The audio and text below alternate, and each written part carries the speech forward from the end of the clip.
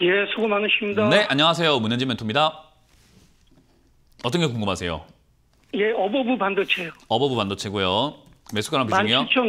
17,500원에 20%요. 그렇군요. 일단 어보브 반도체, 이 반도체 테마 쪽들이 지금 이제 지수가 빠지면 죽을 가능성이 저는 높다라고 보거든요. 그래서 어, 지수가 빠져 내려갈 때 이제 힘을 좀 잃을 겁니다. 그래서 이 변동폭 자체도 지금 굉장히 약해지고 있죠. 이 위- 앞쪽에서 막 변동을 크게 가져가다가 이제 점점 점점 약해지고 있는 모습이 힘이 빠지기 때문에 그래요. 그래서 이런 힘 빠지는 자리에서 매매하셨다. 그럼 돈 잃는 거, 돈 잃는 건간 각오하셔야 돼요. 아, 내가 돈 잃고 싶어서 이런 매매를 했구나라고 스스로가 그냥 생각하시면 돼요. 음. 그러니까 어 저는 늘 이야기하지만 2차 전지가 급등 나왔을 때 2차 전지 사신 분들께도 강조했던 게 돈을 잃고 싶으시구나. 그리고 반도체가 급등 나왔을 때 반도체를 지금 또 사고 있다는 거는 아 돈을 잃고 싶으시구나라고 해석할 수밖에 없어요. 왜냐하면 주식은요 올라오기 전에 사가지고 올라왔을 때 수익을 내는 게 목적이지 여기에서 게임처럼 올라가나 내려가나 이렇게 막 도박하는 걸 우리는 투자라고 말하진 않아요. 이런 건 우리가 이제 기술적인 매매를 해야 되는 자리거든요. 그래서 이 기술적인 매매를 해야 되는, 자리에서는요 사실은 제가 늘 이야기하지만 이런 데 사놓고 전화하는 것 자체가 문제다.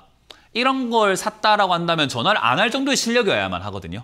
근데 사놓고 전화를 한다는 건 실력이 없다는 거를 증명하는 거예요. 그러니까 저는 이런 투자를 안 하는 게 일단 1번이라고 말씀을 드려보고 싶은 거고요. 두 번째는 샀으면 손실 날 각오는 하세요. 어, 그래서 지금 자리에서 우리가 걱정을 하셔야 되는 건 저점 깨지는 건데요. 14,500원짜리 이 자리가 무너지게 되면 저점 깨져가지고 추가 하락이 나올 수 있는데 추가 하락이 나온다고 해가지고 했을 때 이제 시청자님 입장에서는 10한 6, 7% 손절해야 되는데 저게 가능하시면 손절하는 게 맞고요. 만약에 17% 손절이 조금 억울하다라고 하신다면 손실률이 늘어나는 건 개의치 마시고 반등 나갈 때 매도하세요. 반등이 어디까지 나갈지는 정확하게 알 수가 없지만 반등 시 매도가 되는 겁니다. 만약에 14,500원짜리 이 자리가 지지가 된다면 쌍바닥을 그려줄 텐데 반도체가 지금 당장에 완전히 끝날 것 같지는 않거든요. 그래서 시세 변동이 계속 이렇게 뭐 요리조리 하면서 왔다 갔다 있을 거예요. 그러면 그 변동을 이용해 가지고 반등 시 매도하는 게 좋은데요. 그 반등이 만약에 본전까지 나와준다면 아이고 내가 돈을 날릴 뻔했는데 어우 다행스럽게도 이 내 돈의 본전을 좀 찾는 기회를 주셨구나. 누가 도와줬는지 모르겠지만 아이고 감사합니다 하고 나오시면 돼요.